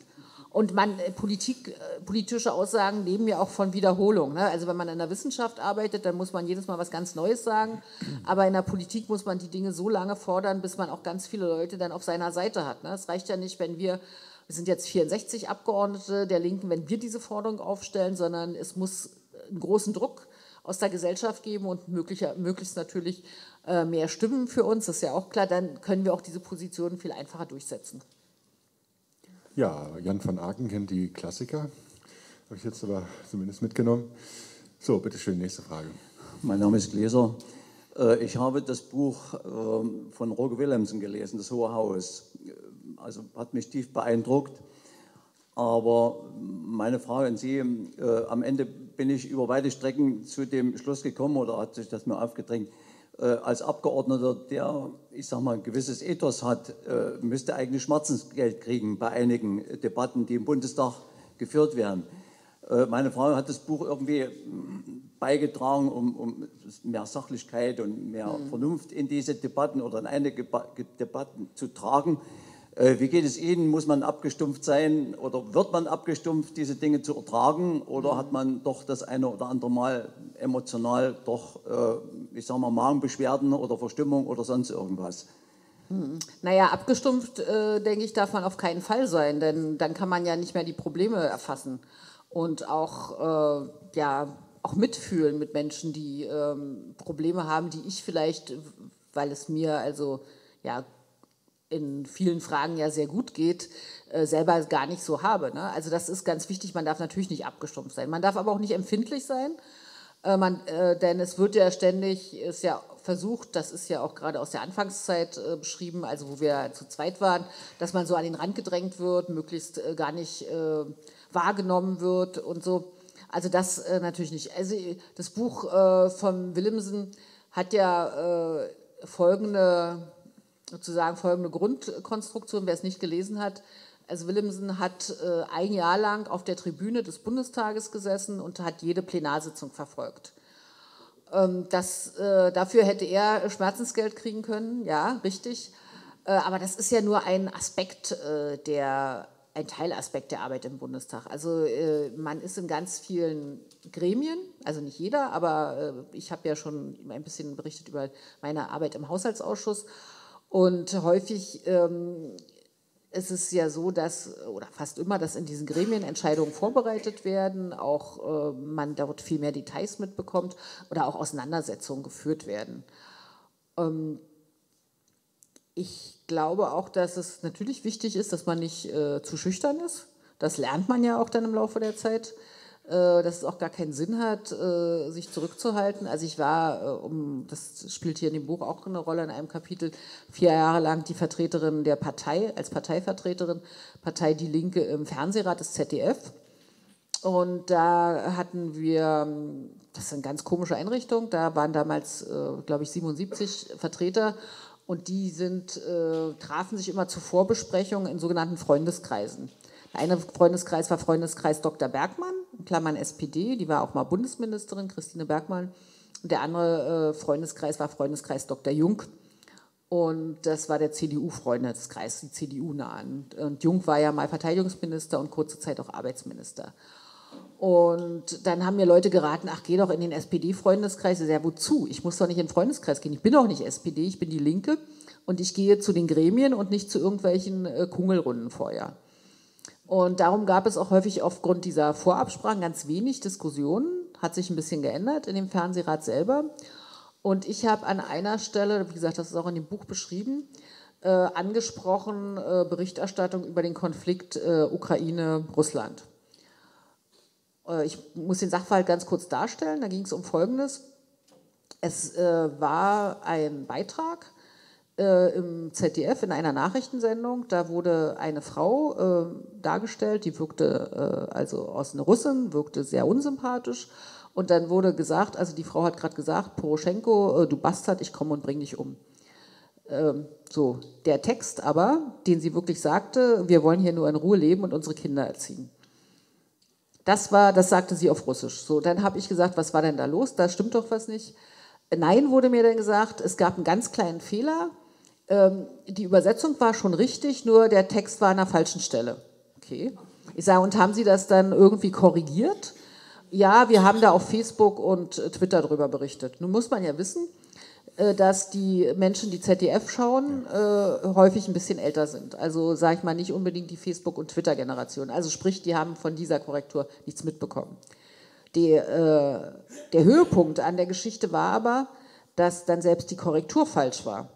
Weil äh, zwar der Name, also das Wort Bastard irgendwie vorkam, aber nicht Poroschenko. Und dann sprach der Übersetzer rein, die Frau meint, äh, als sie Bastard sagt, Poroschenko. Ne? So, kurze Vorgeschichte und als ich das dann mal vorgetragen habe äh, im Fernsehrat, gab es schon so einen Mohren, eigentlich sind ja auch Journalistenvertreter, die sagen, ja, und wir riskieren da unser Leben in der Ukraine und sie kritisieren die. Und der äh, Peter Frei, der Chefredakteur, der sagt dann, mein Unterton gefalle ihm nicht. Ne? So, und dann, wenn sie dann da äh, allein, quasi die einzige sind von, äh, also 77 Mitglieder und dann noch alle möglichen, die da mit rumsitzen und alle sagen, na ja, was macht die denn da? Äh, klar, dann darf man nicht äh, feige sein, ne? da muss man schon sagen, also so und so. Und äh, also mein Unterton, also das äh, ist ja sowieso die absurdeste Geschichte überhaupt. Äh, es ist dann natürlich immer so, dass dann hinterher Leute zu ihnen kommen und sagen, ja, war ja richtig, ne? aber die trauen sich das nicht. Also zu, zu dieser Frage äh, abgestumpft sein oder so, oder wie macht man das? Mhm. Aber natürlich gibt es ganz viele Situationen, wo man sich auch selber sagt, es wird allen äh, Kollegen so gehen, Mensch, an der Stelle hättest du dich mal melden müssen oder hier hättest du das vielleicht ein bisschen anders sagen müssen oder so. Also es gibt da natürlich nicht nur Dinge, die man toll macht oder äh, überzeugend, sondern auch, äh, ja, manchmal sagt, Mensch, das hättest du ja besser machen können. Ähm, ja, aber Abstumpfen, glaube ich, wer abstumpft, ist da falsch. Aber auch wer zu äh, empfindlich ist, äh, ist da auch falsch. Aber man kann ja viel lernen im Leben. Ne? Man kann ja viel lernen und niemand wird geboren als Politiker. Und ein ganz großer Irrtum, wenn ich das jetzt hier nochmal zu dieser ganzen Harz- und Agenda äh, 2010-Geschichte einfügen darf, die Vorstellung zum Beispiel, dass sich jemand, der sich von unten hochgearbeitet hat, wie Gerhard Schröder, der hat ja als Kind in der Baracke gewohnt, dass der denn besonders sozial ist, wenn er es nach oben geschafft hat, das ist, glaube ich, völlig widerlegt. Ja, vielen Dank. Ich muss jetzt auch hart sein. Ich, äh Ach so, ja, das Buch, ob das Buch was verändert, glaube ich ehrlich gesagt nicht. Also diejenigen, die positiv erwähnt worden sind, das war die Anna Golze von unserer Fraktion, die hat sich natürlich darüber gefreut, aber jetzt für den Ablauf des Bundestages hat das äh, nichts verändert. Okay, ich äh, sage jetzt, wir sind auch hart, wir machen jetzt noch eine Frage und dann schließen wir 21 Uhr. Alles Weitere machen wir dann äh, vielleicht im, im Zweiergespräch. Genau. Ja, sind einverstanden. Letzte Frage jetzt. Ähm, ganz kurz nochmal zu Facebook. Äh, wir hatten genau zwei Anmeldungen für die Veranstaltung heute Abend. Ich weiß nicht, ob Sie alle ZDF gucken oder auf jeden Fall äh, sieht man nochmal die Diskrepanz zwischen der Medienwahrnehmung. Ja? Also ja, solch, solche, solche Korrekturen sind, also ich finde es manchmal auch witzig bei Nachrichtensendungen, wenn es dann heißt, den Rest können Sie unter so und so äh, de lesen. Das ist ein Scherz für mich. Ja, ja na klar. Also das, so, letzte Frage, bitteschön. Ja, Rainer Jaluschka aus Schönebeck. Noch die Frage, Horst Schlemmer, die Idee, wollen Sie die nochmal aufgreifen? Und ihn einladen zu einem öffentlichen Gespräch im Rahmen der Wahlwerbung? Ja, äh, ich weiß nicht, wie, wie er gerade so drauf ist. Ich weiß nur, dass mein Kollege Gregor Gysi, der macht ja auch im deutschen, Theater, im deutschen Theater, ja, macht da so eine Veranstaltungsreihe. Da war also äh, Horst Schlemmer alias Harpe Kerkeling äh, vor Ort. Und es war wohl ein ganz äh, interessanter und äh, äh, schöner Abend. Ja, ich habe selber, ich habe im Kalibknechthaus in Berlin auch ähm, eine Veranstaltungsreihe, die nennt sich Gedrucktes. Da habe ich einmal im Monat auch sehr interessante Gesprächspartner. Und vorhin habe ich schon erzählt, glaube ich. Ne? Also da mhm. findet man auch ja. sehr viele, die großen Anklang finden, wie zum Beispiel, wer kennt ihn noch? Gojko Mitic.